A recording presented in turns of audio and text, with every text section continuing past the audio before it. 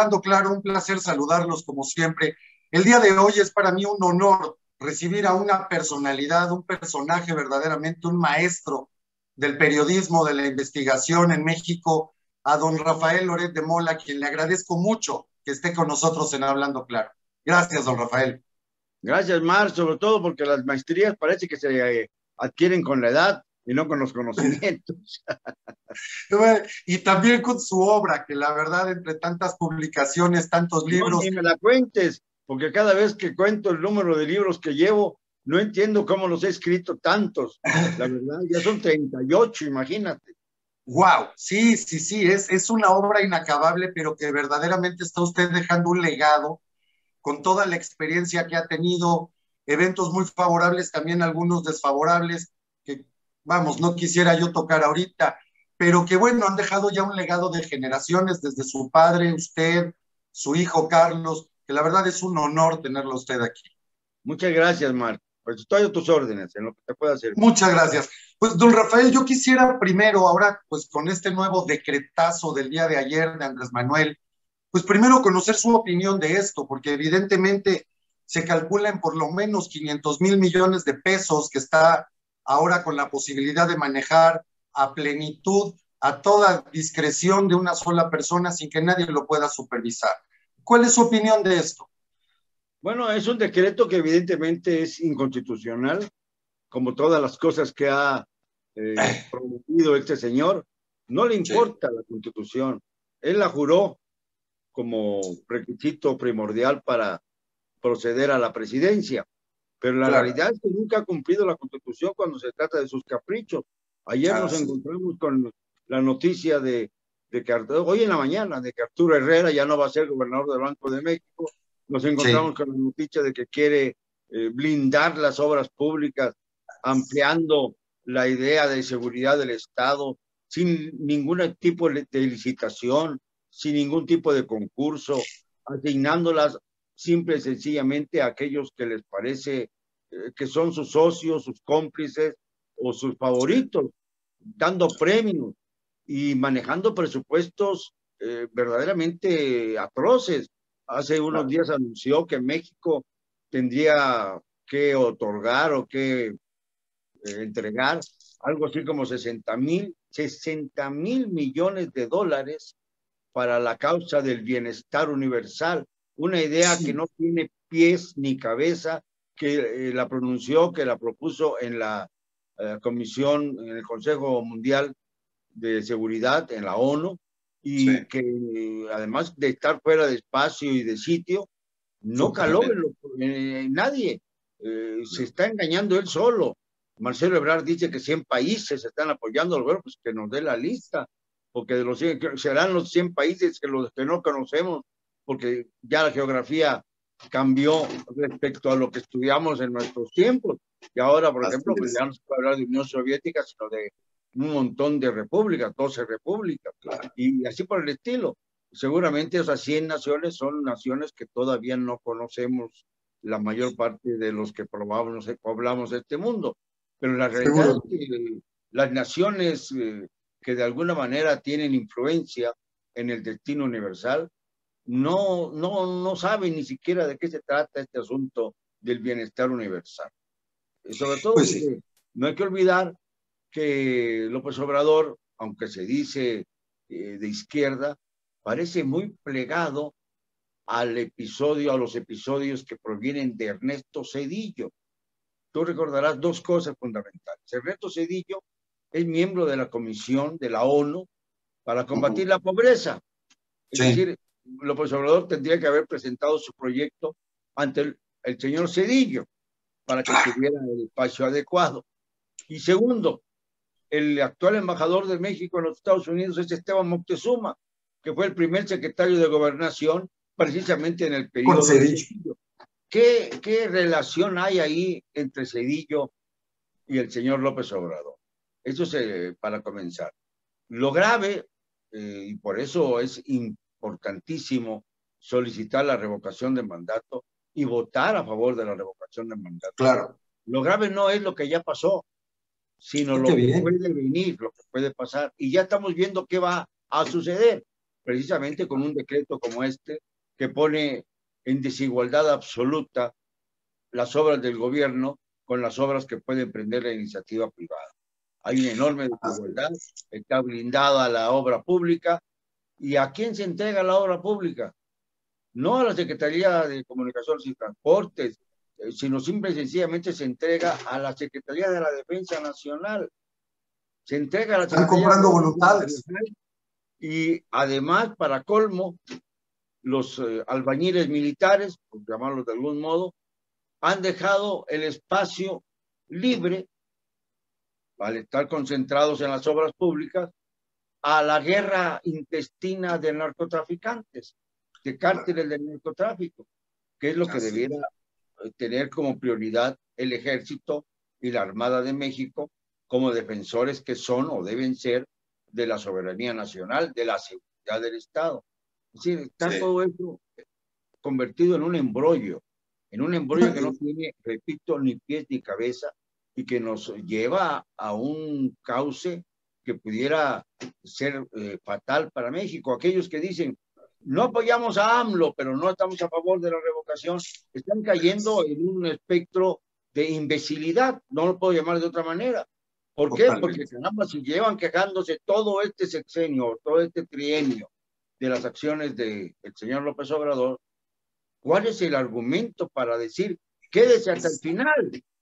Cuando sabemos que el peligro está en esta segunda parte, en la segunda parte en la que puede él desaparecer por sus pistolas al Instituto Nacional Electoral, con el que puede él eh, pues hacer o realizar las estatizaciones que le dé la gana, como está ocurriendo ahora con el asunto de la obra pública, o bien seguirse hacia una economía socializante que ni privilegie a los ricos ni privilegie a los pobres, porque resulta que la cuarta transformación habla mucho, pero los que han ganado con esta cuarta transformación no son precisamente los pobres, sino que los cómplices y socios de López Obrador, empezando con Carlos Slim, siguiendo con Germán Larrea, Mota Velasco, siguiendo con Ricardo Salinas Pliego, eh, Alberto Valleres, son elementos que se han enriquecido con esta crisis.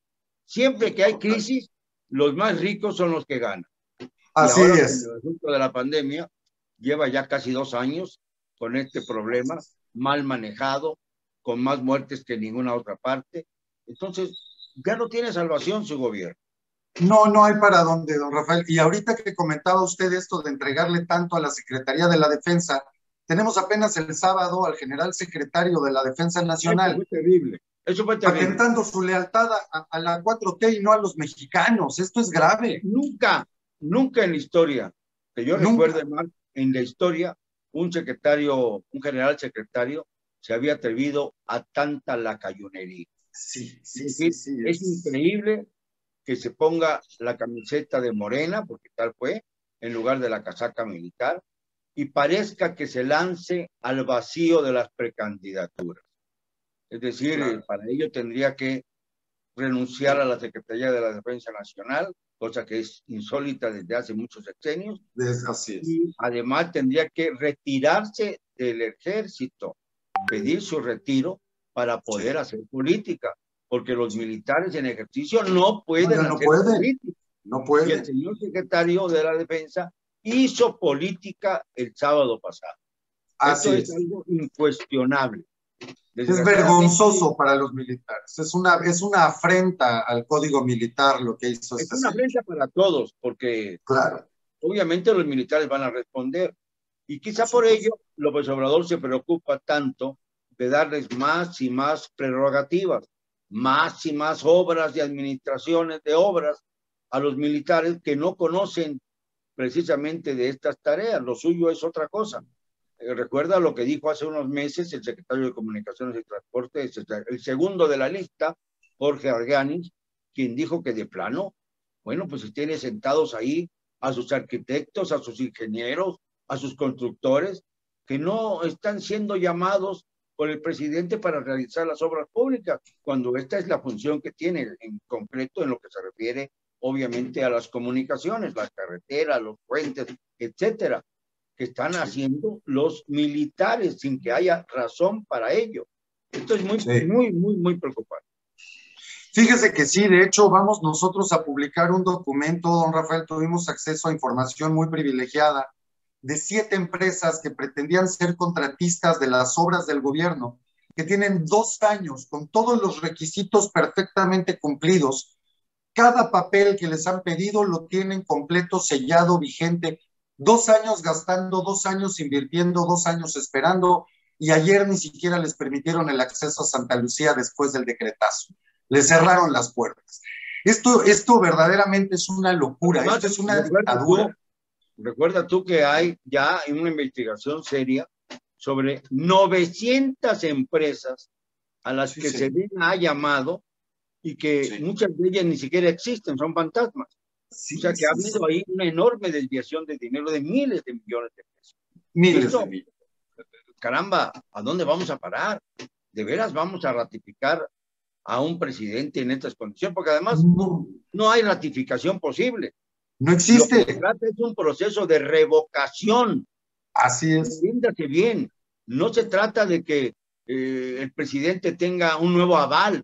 Él ya fue votado por cinco años y diez meses. Hay que olvidar lo que no son seis años, porque hay dos meses que vamos a respirar. En el caso de que llegase al 2024, yo creo que no debe llegar al. No, yo creo que debe terminar su gobierno e irse en santa paz y salvar un poco la dignidad perdida. Porque no tengo ninguna duda de que cuando comenzó su gobierno él quería ganar la historia como uno de los mejores presidentes de México y ya la perdió. Perdió y le dio además un golpe severo a la credibilidad de la ciudadanía. Eso es una cosa que no puede tener solución. Cuando él dijo, en su apoteósica manifestación del día de su toma de protesta en el Zócalo, no les voy a fallar, pues yo pregunto, ¿no nos falló? pues se quedó en demagogia. y por eso debemos exigirle más que a todos los demás. Totalmente. Porque se quedó en demagogia, don Rafael. Yo creo que tenemos, y no sé si coincida usted, creo que tenemos un gobierno que más allá de tener un plan de desarrollo para el país, que yo no conozco cuál es el plan nacional de desarrollo con este gobierno, se basa en ideología y en la voluntad de un solo hombre.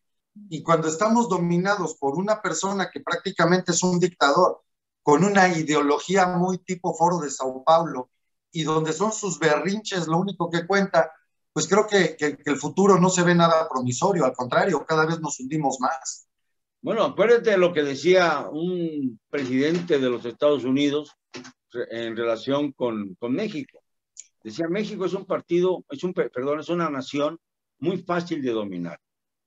Basta con contar con un solo hombre para hacer lo que queramos en ese país. Sí, Esto es lo que ha ocurrido. Es, es lamentable que no nos demos cuenta de que el presidencialismo de ayer es el presidencialismo de hoy, pero aumentado y corregido. O sea, estamos en un extremo ya francamente inaceptable y además de gran peligrosidad para el futuro de México. Así es. Si no tomamos cartas en el asunto, México sí se nos va a desmoronar en las manos. Yo creo, algunos me preguntaban, bueno, ¿y usted cree que los Estados Unidos van a permitir que al sur de sus fronteras haya un gobierno socialista? Pues vamos a ver, vamos a sumar. A lo mejor a los Estados Unidos le conviene bloquear a México comercialmente, porque así le deja de costar México. Pues pues deja de pues enviar recursos adicionales, de tratar de resolver los problemas de la deuda. El Fondo Monetario Internacional tendría un problema menos que resolver, por ejemplo. A los Estados Unidos no le disgustaría que México se separara de la espera del Tratado de Libre Comercio de América del Norte o del Mexican, como le llamamos ahora. Lo que sí es cierto, lo que es indiscutible, es que México es el de los tres el que menos aporta a la relación trilateral entre Canadá, Estados Unidos y México. No tengo ninguna duda de eso. Entonces, pues, eh, realmente estamos haciendo el papel de eh, la cola del león en lugar de totalmente. ratón. Así es.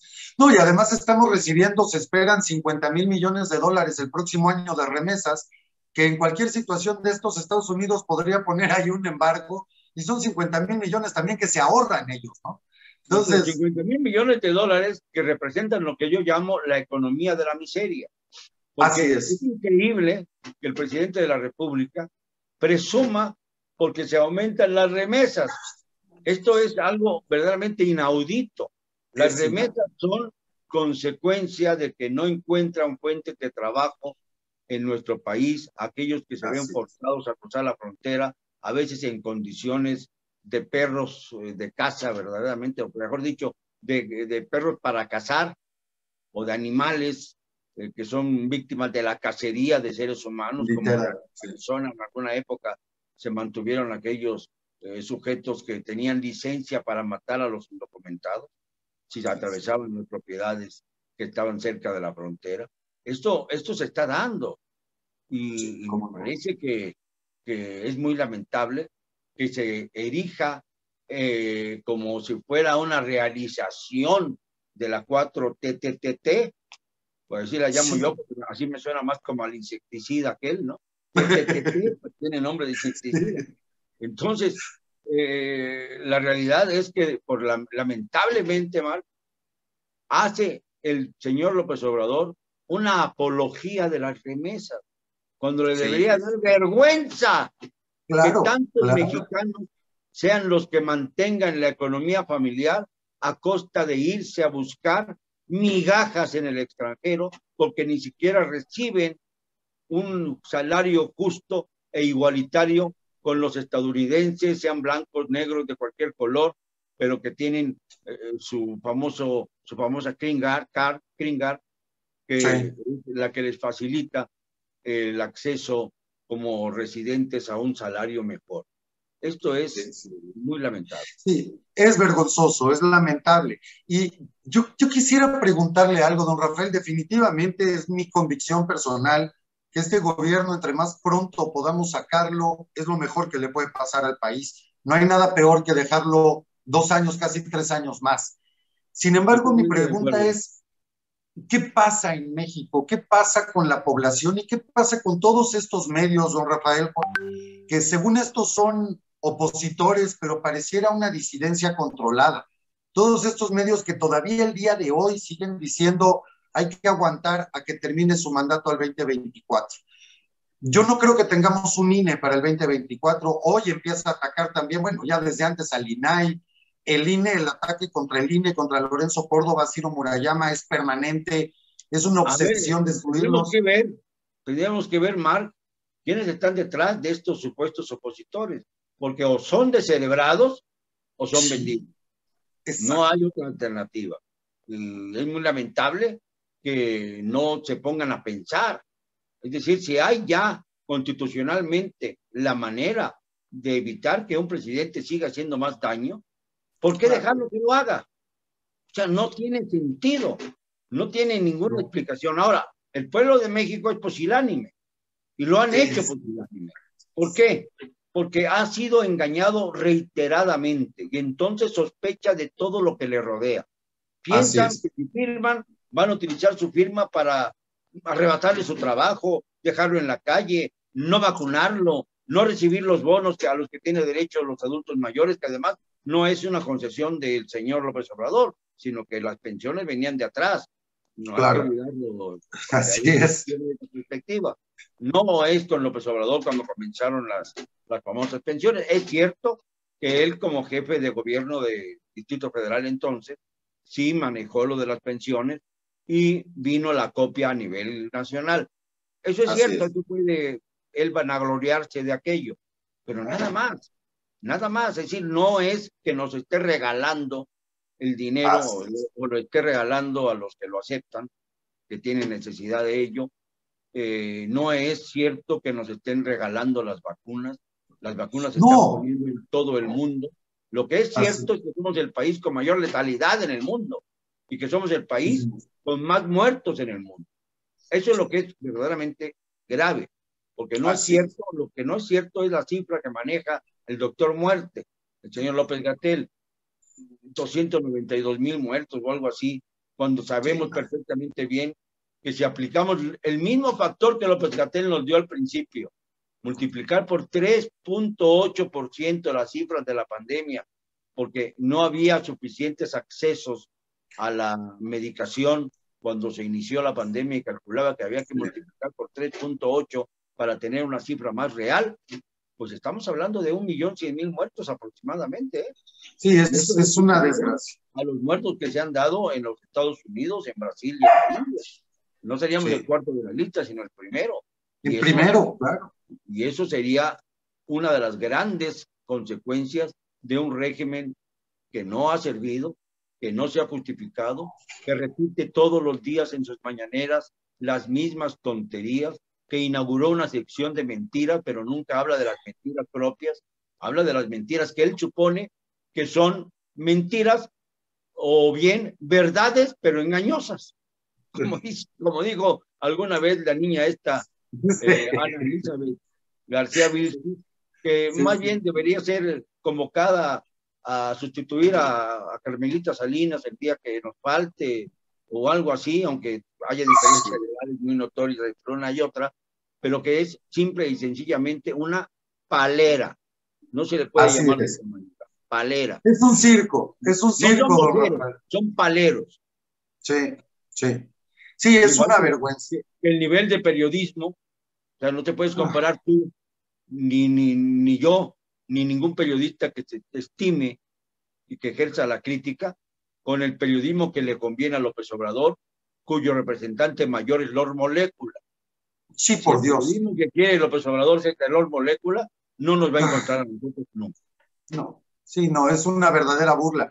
Y además, digo, lo, lo, lo tan preocupante aquí es que este hombre jamás va a aceptar una crítica, jamás va a aceptar un dato, nunca nada.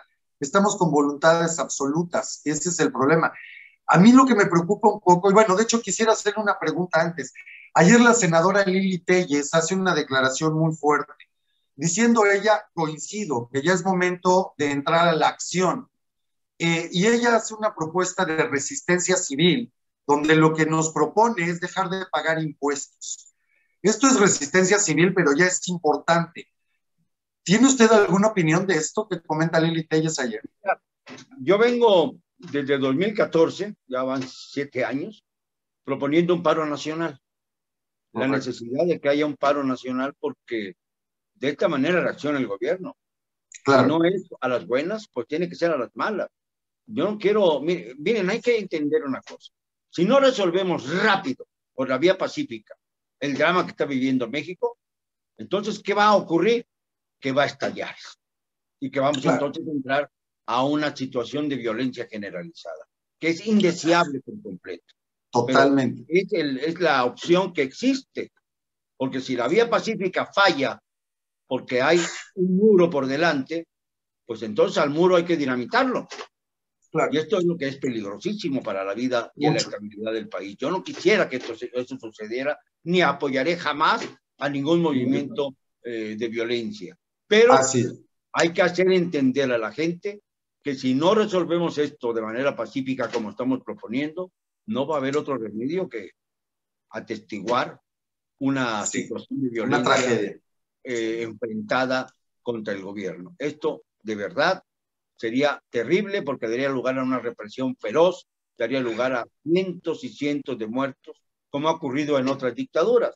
No estamos hablando nada más de nuestro país, estamos hablando de muchas dictaduras del mundo. Claro, no solamente de América Latina, no solamente del continente. En todo el mundo, eh, recientemente, por ejemplo, lo que pasó en Ucrania, por cierto, hay una película estupenda eh, que se demuestra cómo algunos cayeron, pero finalmente lograron su emancipación. Eh, esto es interesante porque hay muchos que le tienen un terrible terror, pero terror a cualquier cambio. Eso es algo que me parece increíble, ¿no? Hemos estado hablando de cambios desde hace 30 años. Cambio, cambio, el cambio, el cambio es lo que se repite en los candidatos. Y a la hora que se puede hacer un cambio, se aterrorizan. Entonces, ¿qué es lo que quieren? ¿Qué es lo que queremos? ¿Seguir igual para no tener miedo? ¿O bien caer en el terror y no hacer nada? Entonces, no queremos el cambio. O sea, es bastante, incongruente esta posición de, nuestra, de nuestro pueblo.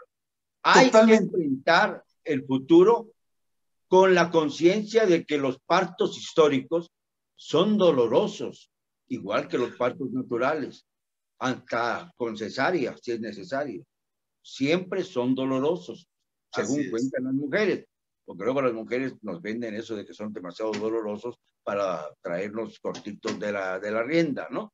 Oye, yo ya sufrí mucho por tener a tu hijo desgraciado, ahora tú me das y me das y me das. Ese, es un comentario amable. No me lo vayan a tomar como un comentario. Es una broma. Muy buena, muy buena, le agradezco. Aquí, ahora, yo no entiendo verdaderamente, hemos visto otros ejemplos, como usted bien dice, en otras partes del mundo, vimos las primaveras árabes tan famosas, donde las convocatorias fueron a través de las redes sociales, que tal vez no eran tan populares, incluso como son ahora. Cada año va, va teniendo mayor penetración estos medios. Pero en México pareciera que seguimos con esa apatía tremenda. Aparte de las campañas, vemos a un Mario Delgado, que este hombre yo no sé cómo puede verse de frente al espejo, no hay dignidad. Con todas estas mesas de registro que pone Morena en todo el país, diciendo ratificación de mandato, algo absolutamente ilegal.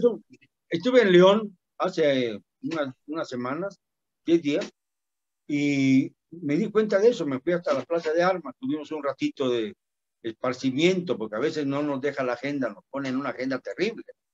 Y entonces me fui caminando hasta la Plaza de Armas, del Panteón Taurino de León, es un restaurante. Muy precioso. Sí. Un lugar muy, bonito. Sí, sí, sí. Relativamente, pero es, es, es interesante, ¿no?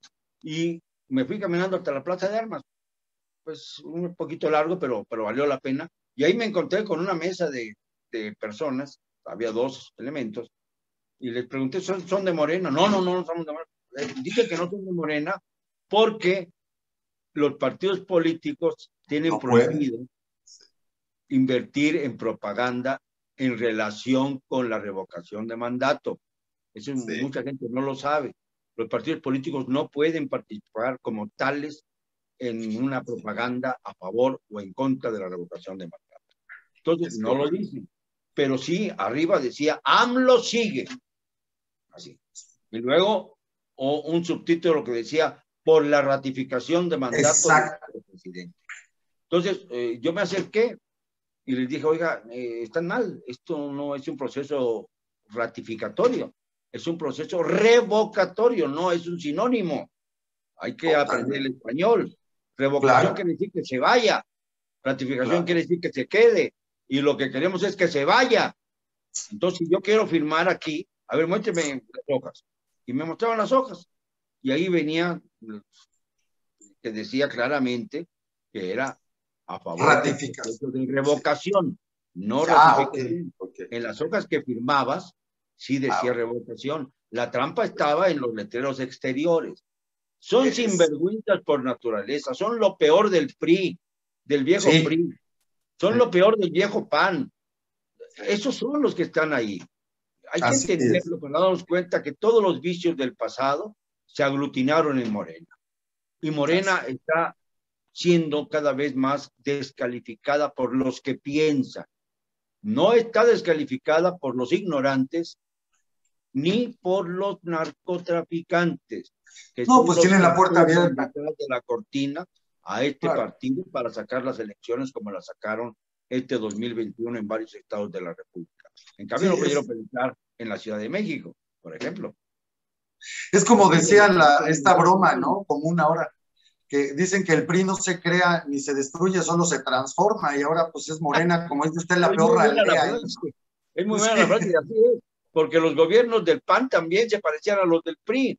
Acuérdate que cuando Vicente Fox accedió a la presidencia, a los pocos meses de haber accedido, dijo, ay caray, no sabía yo que había tantas cosas buenas en el PRI. Y empezó a elogiar el sistema educativo de Cedillo. Otra vez Cedillo, parece Cedillo siempre como un referente. Es eh, algo interesante que es el equipo de Cedillo el que ha mantenido su raigambre hasta el día de hoy todas las administraciones. Por esa razón, también estuvo Luis Telles Custer en la Secretaría de Comunicaciones, por ejemplo, que provenía de, primero del maestro de Teanquistenco, el profe, el profesor Carlos Juan González, y luego del sedillismo.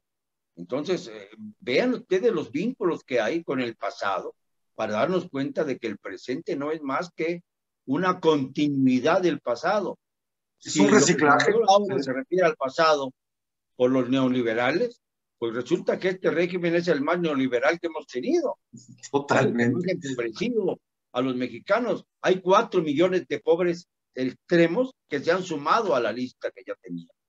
cuatro millones, o sea, más de un millón por año. Esto, ¿qué no nos mueve a pensar que ha fracasado? Que no es ni el gobierno de los pobres, ni es el gobierno que combate la corrupción, ni es el gobierno que acabó con el huachicol. Todo ha sido una farsa, una mentira que ha insistido, insistido, insistido, quizá con aquella lejana eh, explicación de que miente, miente que algo queda, calumnia, calumnia que algo queda. Y eso es lo que ha hecho el López Obrador, calumniar hasta el cansancio para ver si algo le queda en la mente a los mexicanos, ofendiendo y descalificando a sus críticos, ofendiendo y descalificando a todos aquellos que no siguen la ruta, ofendiendo y descalificando a los empresarios, a los mismos trabajadores, a los sindicatos que no se pliegan a las órdenes de él. Eh, por ejemplo, aquí donde vivo, el sindicato del Seguro Social está promoviendo a favor de la revocación de mandato. Fíjese. Y es un sindicato muy importante, clave para el desarrollo del país. Qué bueno. Pero ahora... están cansados de la burla que han sufrido con todos estos meses, casi dos años ya, de pandemia. Son los más vulnerables, son los más afectados por todo ello. Sí, y con todas las carencias, don Rafael, porque ellos mismos, y aquí me toca gente que nos comparte, médicos que trabajan en el sector salud, que nos comparten sus experiencias, donde no tienen insumos, no hay medicamentos, no hay presupuestos y no, no saben qué hacer con los enfermos. Esto es un crimen humano, de verdaderamente es, es, negligencia criminal lo que está haciendo este gobierno. Pero, ahorita que... lo que sigue, repito, ya vimos lo, que, lo que pasó. Hay desabasto de medicinas, se abandonó a los niños con cáncer, se abandonó a los enfermos de enfermedades crónicas severas, y todo, según ello, para atacar al COVID y resulta que los que eh, morían por COVID se les decía que era una influencia atípica. O sea, tipo, tipo, de este, este tipo de cosas que poco a poco fueron mermando la confianza de la población, porque no son tontos. México no está lleno de tontos, está lleno de personas que quisieran tener mayor información para poder resolver sus propios dramas. Pero bueno, aún así hay quienes piensan que ya se acabó lo peor. No, si hubo desabasto de medicinas en el primer periodo de gobierno, en el segundo periodo que ya arrancó, el primero de noviembre, dando que son cinco años, diez meses, o sea que ya el primero de noviembre comenzó la segunda, el segundo tiempo, para decir en términos futboleros. y en este segundo tiempo va a ser peor. Van a haber más faules, ya no va a haber desabasto de medicinas, sino va a haber desabasto de medicinas y desabasto de alimentos. Así es. Evidentemente van a empezar a faltar los alimentos en la medida en que, como tú mencionabas hace unos momentos, el pueblo de Sao Paulo le exija al gobierno tomar otro tipo de medidas hacia el sur y no hacia el norte. El norte pues va a dejar de exportar los alimentos que necesitamos, que son muchos, ¿eh? Dependemos de los Estados Unidos, por desgracia, por desgracia, es una desgracia que ha sido consecuencia de las malas administraciones de nuestro país, pero que ahora está tomando un curso severo. Además, ahí está la hipocresía. Por un lado, el presidente se reúne con los líderes de Sudamérica, sobre todo con los de supuesta izquierda, entre comillas. Lo único que han hecho es empobrecer a sus pueblos. Sería interesante que hicieran un tour por Venezuela, por Cuba, Exacto. por Nicaragua, que hicieran un, un recorrido, que se hiciera un, una organización, que alguna agencia de viajes organizara el tour del mundo bolivariano. Sí, que se vayan a vivir unos meses allá.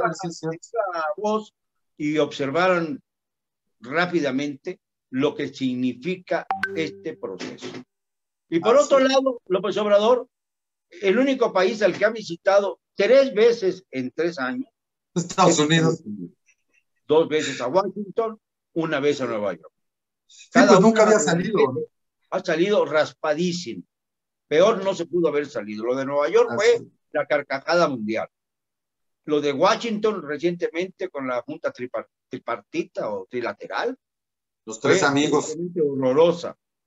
eh, Justin Trudeau se burló descaradamente de él. Fue claro. que que hubiera una mayor eh, estimulación, una mayor organización en el caso de la reforma energética. Una reforma energética así obligaría a la industria canadiense a retirarse, lo cual no estaría tan mal porque tenemos a muchos canadienses explotando las minas de nuestro país de manera inhumana. ¿eh? Este, es, este, es, un factor que podría haber resuelto López Obrador. Nada más que resuelva lo que se refiere al sector minero. Nada más, una cosa que haga. Y no lo haga. Pero pues tiene a su amigo. Nombró senador Anapito. Pues. Eso fue lo que hizo. Entonces le dio validez a todo el atropello inhumano que sufren nuestros mineros. Cuando ocurrió la tragedia en Chile, con los mineros que quedaron atrapados, y además se hizo esto película y se desarrollaron muchas cosas, nos dimos cuenta de la enorme diferencia en cuanto a poder adquisitivo y en cuanto a presencia de gobierno entre Chile y México. Lo que en Chile fue posible, en México resultó imposible en el caso de Pata de Concho, por ejemplo. Y no es una diferencia. Aquí murieron 62, allá se salvaron 45. Es una desgracia, don Rafael, pero parece que hemos perdido el valor a la vida. Y pues, ¿qué va a hacer con los mineros si tiene a su amigo protegido ahora en el Congreso también en México? En fin, es, esto es absurdo, ¿no? Esto es verdaderamente absurdo. ¿Y qué pasó con Carlos Romero de Champs? Eh, nada, pues nada. ¿Qué pasa con los demás directores de Pemex? Porque no solamente es el señor Lozoya el único responsable de esta catástrofe, también es Octavio Romero, claro. el director de Pemex, que es un sinvergüenza. Y, no se diga el monstruo de las mil cabezas que se llama Manuel Bartes, que está en la sí, Es terrible lo que está pasando. Además, imagen terrible, don, don Rafael, terrible. Porque aparte yo aquí me hago una pregunta como bien han dicho muchos, tenemos que pasar ya a la acción, tenemos que hacer algo, porque, pero ahora, ¿tenemos verdaderamente partidos de oposición? Porque yo veo que, pues están en contra también, gran parte de ellos en contra de la, de la revocación de Los partidos políticos no han También Cepeda es de los pocos que apoyan a la revocación. Pero ¿verdaderamente hay oposición en México o estamos solos los ciudadanos? Eh, se lo pregunté abiertamente a Damián Cepeda, senador panista. Le dije, oye, ¿de verdad van a dejar sola a la sociedad civil en esta lucha por la revocación de mandato? ¿De verdad los partidos políticos de oposición no van a actuar? Y no sabía qué contestarme. Al final me dijo, bueno, yo respondo por mi partido, Acción Nacional. Claro. Pero esto no es suficiente porque el Partido Acción Nacional ya se pronunció en contra de la revocación. Esto es increíble. Eso es lo que yo no entiendo. Eh, vamos, no lo entiendo. Y algunos panistas con los que yo he hablado tampoco están de acuerdo con su dirigencia. Y ese es el problema.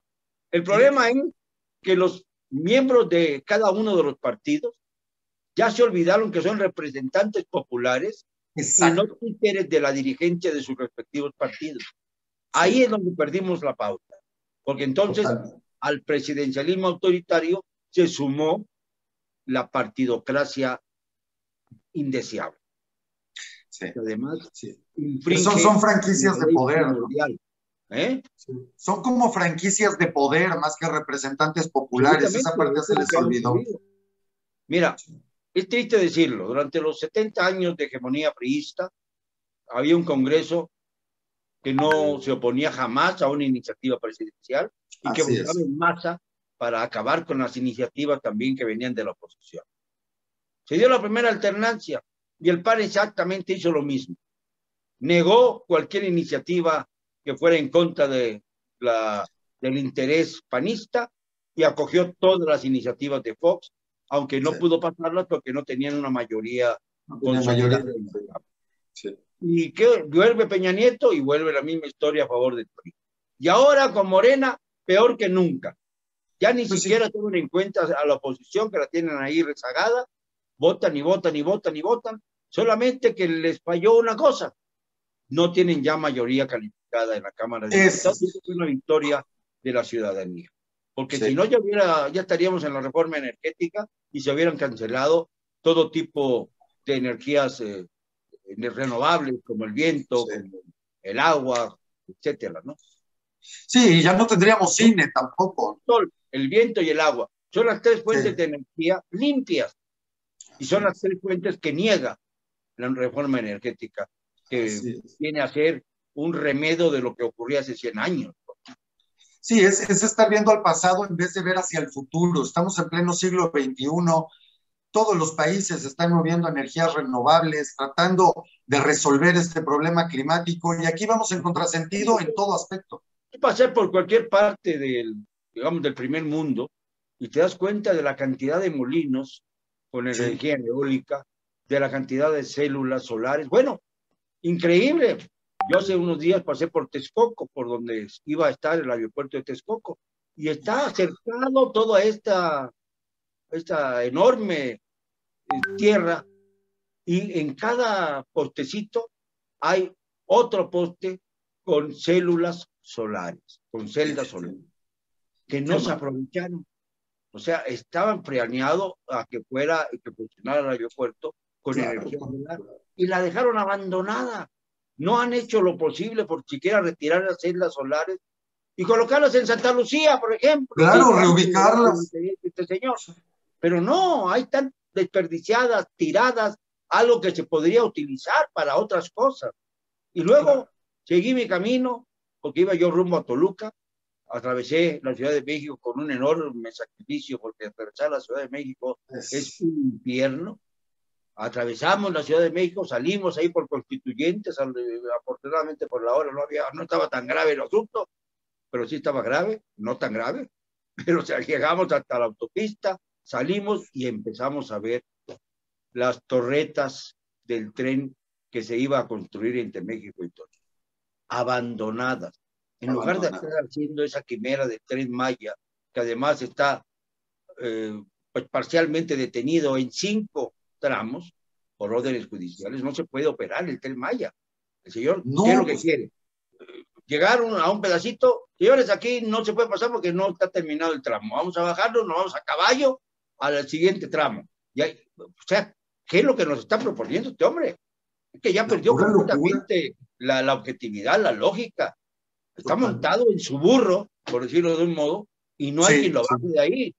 Pero hay que bajarlo con la revocación del mandato. Es el único camino que nos queda. Y el que se oponga a la revocación de mandato, lo digo claramente, el que se oponga a la revocación de mandato es un traidor a México. Estoy de acuerdo con usted, don Rafael, totalmente de acuerdo. No hay más, ahora vemos todos los cambios, ya ni siquiera Arturo Herrera queda en Banco de México, que era un poco confiable. En fin, esto, esto va de mal en peor cada día. y, qué te digo de Carlos X González? Sí, que a, a, toda la población. El señor aglutina 30 empresarios tan ricos como él. Es todo su, su poder. Y se da el lujo de cuestionar a López Obrador, pero no quiere la revocación de mandato porque esto pone en peligro sus intereses personales. Totalmente. Porque qué tal si no se revoca el mandato y yo promoví la revocación, se van a ir en contra de mis empresas. Ese es el criterio que tienen estos miserables. ¿Cómo es que no piensan en nadie. Algún tipo de confianza y de credibilidad a estos personajes. De ninguna manera de ninguna manera. Es una traición a México dejar a López Obrador. Sería coincido con usted.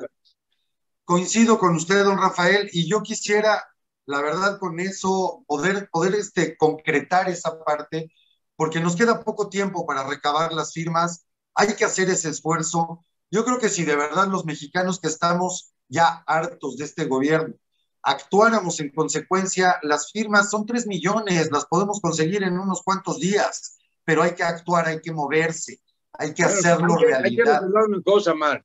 Los mexicanos, por eh, una especie, no sé, de aneurisma mental, por decirlo de alguna manera, siempre actuamos a la última hora.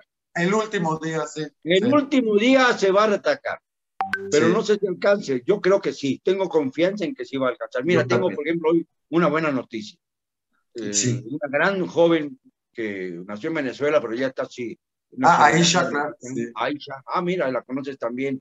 de hecho, ha estado con nosotros aquí, Rafael, también. Dice que no quiere decir cuál es su segundo apellido porque le puede causar problemas. Y bueno, yo mando por discreción. Eh, segundo apellido tiene que ver con un famoso narcotraficante de Colombia, es todo lo que ah, ok, ok, lo dejamos en García. Y hace bien. Pues ella me habló hoy en la mañana entusiasmada, porque está siendo coordinadora para la, eh, recoger las firmas para Frena en Tabasco. Me dijo, ya logramos el objetivo de totalizar las firmas necesarias en Tabasco. Ya hay un estado, necesitan 17, pero ya hay un estado que está ya detrás de la línea. A favor. Pero muy simbólico, porque es el estado del presidente. Es el estado del presidente. La cuna de Macuspana. Es Tabasco. Esto es muy interesante. En Tabasco se está pensando en revocarle el mandato a este sujeto. Pues más que no? ninguna entidad de la República. ¿Cómo es posible? Reaccionemos. ¿Dónde estás tú ahorita? En este momento, ¿dónde estás? Yo estoy transmitiendo desde Cancún, Quintana Roo, don Rafael, aquí estamos. Cancún anda muy bajito, ¿eh? De firma. Mucho. Muy bajito. Yo también estoy en, un lugar en donde está muy bajito el Tlaxcala. pero, pero bueno, van a poner mesas a partir de sábado, del sábado, viernes, viernes sábado y domingo. Y igual, todos los días, todos los días. Y voy a seguir el ejemplo de Aisha, voy a, a buscar un grupo de jóvenes que vayan casa por casa, como lo hizo sí. en Tabasco, para tratar a ver si, como aquí son pocos los electores, pues a lo mejor necesitamos nomás 29 mil firmas. Y bueno, pues ya sería un estado más. Pero vamos a lograrlo. Lo vamos, a, lograr. Yo estoy seguro que sí, don Rafael. Ahora, hay una cosa. Si se logran los 3 millones de firmas antes del 25 de diciembre, después del 25 de diciembre esto va a ser una explosión. Una explosión. Y se va a ir el carro solito. ¿Ya lo verás? Ese es mi pronóstico. Tenemos que hacerlo, don Rafael, porque México no puede acabar con lo que quiere este señor. Este país es un país bendito realmente que tiene, tiene un potencial tremendo y no podemos permitir que se dilapide así. ¿Qué potencial tiene que la secretaria de Energía, Rocío Nale, ya pronosticó que en el mejor de los casos el petróleo, nuestro petróleo, será comercializable hasta por tres décadas más como mucho. ¿Y qué pasó? Que Dios nos dio uno de los eh, lugares, uno de los este, sitios de, en donde hay más litio en el mundo, que es ahora el metal más preciado para la tecnología del futuro. se acaba el petróleo, pero tenemos yacimientos de litio. Y tenemos energía solar también.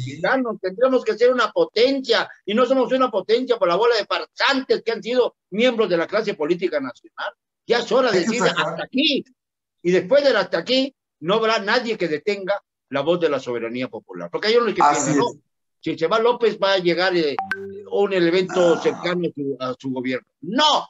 Si se va López Obrador, se llenan las plazas de entusiasmo, de apoteosis, y se llena de fervor nacional todo lo que representa la soberanía popular y entonces vamos a ver qué diputado se atreve a no seguir los lineamientos no de la constitución, que son muy respetables, sino del pueblo, porque el pueblo está por, encima de la constitución. La soberanía popular está por encima de la constitución. No, y esto es una herramienta que tenemos que dejar permanentemente, don Rafael, que entiendan que son servidores públicos y si realmente no tienen esa forma de pensar, esa vocación, dedíquense a otra cosa, señores, porque de los partidos que tenemos ahora creo que hay muy poco rescatable, pero esto nos viene a dar a la población una verdadera herramienta. Sí o nada. Sí. No hay a quien irle, la verdad. El PT. El, el, lo Fernández Noroña, ahí te lo regalo. Sí, no, bueno, no, no, bueno, no, no, no, este. Ya, que le puedo? Quiero que ya se quedó sin balines desde que le pusieron el famoso apodo del changoleón, el changoleón. Se acabó, se, se, cayó el teatro. Qué bueno que por lo menos ese teatro se acabó. Porque también Anaya, Ricardo Anaya, un, un, apodo que le lanzó López Obrador, lo hizo pedazos, aquello de Ricky, Ricky Canallín. Eso lo despedazó ante el público, más que lo demás, las denuncias de corrupción y todo eso. Eh, y fue una bajeza de López Obrador hacer pero así fue. Estamos hablando de los hechos. Pues ahora ya le no, al changoleón y que se aguanten. Que se, y que se vaya a su casa, ya, estén fregando, porque de verdad son un cáncer para este país. Ya que lo saquen de los aviones cuando lo vean, ya que lo refugien en los aeropuertos, ya que no lo dejan entrar a ningún sitio, no porque queramos que se limite a la libertad de expresión, sino porque queremos fundamentalmente que no se engañe a la gente, que no se le mienta, que no se le que, hacia el abismo de la destrucción, de la provocación, del enfrentamiento y, totalmente... Lo que, realmente propone este gobierno, pero que lo hagan realidad. Eso de no mentir, no robar, pero, háganlo de a de veras, porque la corrupción y la mentira es lo que priva ahora. Que ya sientan la reacción de la gente. Yo creo que es muy importante. Don Rafael, ¿le puedo pedir que invite a toda la gente que, que se unan a esta revocación, que por favor nos haga usted una invitación? Pero por supuesto, yo estoy totalmente convencido de que la única salida que nos va quedando o que nos queda es la revocación de mandato de Andrés Manuel López Obrador. Si no lo hacemos ahora, no tendremos suficiente tiempo para llorar las consecuencias. Pues don Rafael, yo le agradezco, le agradezco mucho que haya estado aquí hoy con nosotros en Hablando Claro, es un honor y, por supuesto las puertas están abiertas, si usted me lo permite, será un placer saludarlo un poco más adelante y que nos siga compartiendo, por favor. Con más, polémica y menos tecnología. Así, así como le hicimos hoy. Exactamente la misma fórmula. Muchas gracias, don Rafael, que Dios lo bendiga. Un placer. Gracias.